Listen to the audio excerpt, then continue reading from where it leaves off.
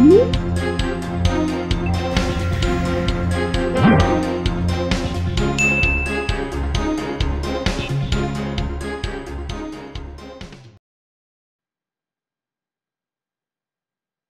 araw po sa inyong lahat. Assalamualaikum. Welcome back po sa ating YouTube channel.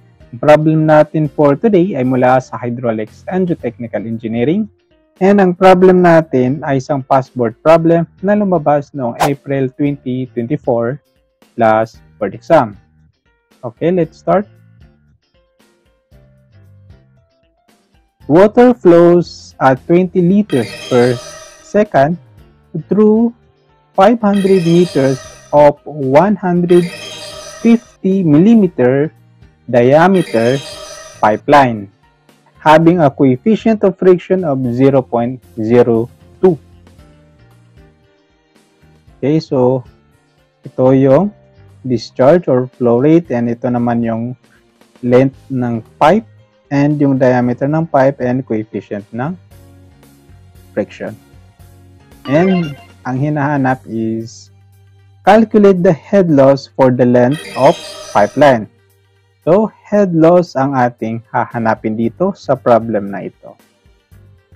Okay, so tapos na tayo mag-identify. So, ang hahanapin natin dito is head loss. Ang formula ng head loss ay ito. Major head loss plus the minor head loss. So, ito yung formula ng head loss. So, okay, ito yung major head loss, minor head loss. So, kung kung i-recall natin ang ating problem, walang sinabi dito na ineglect natin ang minor head loss. Walang binanggit na neglect minor head loss. Pero, ang problema dito is, walang binigay o walang na-mention na coefficient of minor loss, itong K. So, kung walang na-mention na coefficient of minor loss and hindi rin pinapahanap sa atin ang minor head loss, then ineglect natin. Ineglect na lang natin itong minor head loss. Okay? So, that means, ang matitira na lang dito is major head loss. Or itong head loss due to friction. So, meron tayong tatlong formula dito. Formula mula kay Darcy, Manning, and Hazen Williams. Pero napaka-obvious naman na ang gagamitin natin dito ay itong formula ni Darcy. Dahil dito sa binigay na coefficient of friction. And wala namang ibang may coefficient of friction kundi ito lang si Darcy. So, ito ang gagamitin natin na formula. Now, before natin ito i-input sa ating calculator, dapat wag natin kalimutan na i-double check ang ating mga unit. Okay, so ito, 500 meters. Okay. So, by the way, ang final unit natin dito is in terms of meters. So, that means ang mga unit natin dito is in terms of meters. So, ito, 500 meters. So, okay, walang problema. So, ito, 150 millimeters. So, ito yung may problema. So, kailangan natin i-convert ito into meters. So, conversion natin dito is 1 meter is equal to 1,000 millimeter. So, kung i-convert natin ito, magiging 0.150 meter na siya. So, so isa, hanap pa tayo ng isa. So, ito, liters ito. So, ito, itong liters, kailangan pa natin ito i-convert into cubic meter. So, conversion natin dito is 1,000 liters is equal to 1 cubic meter.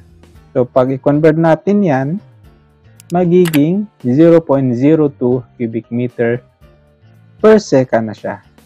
So, check natin ulit. 500 meters, okay. 0.150 meters, okay. So, ito, okay. Okay na lahat. So, ready na tayo na input ito sa ating calculator.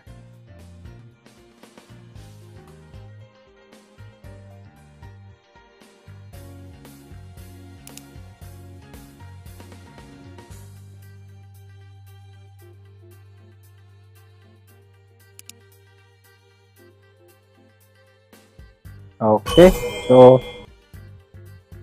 ang ating head loss is 4.35 meters or head loss due to friction and ito ang ating final answer. Yan. Problem solved mga kapatid.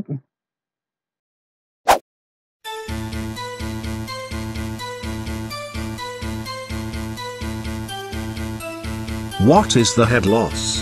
In meters per kilometer on a 150 millimeters diameter pipe having a coefficient of friction of 0.025. If the discharge is 0.0106 cubic meter per second.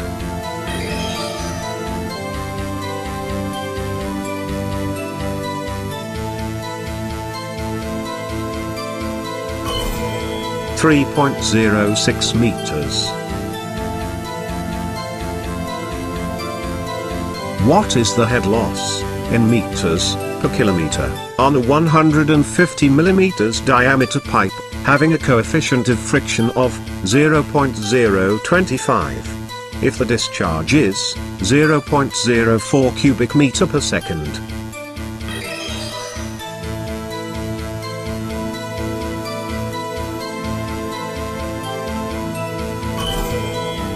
Forty-three point fifty-one meters.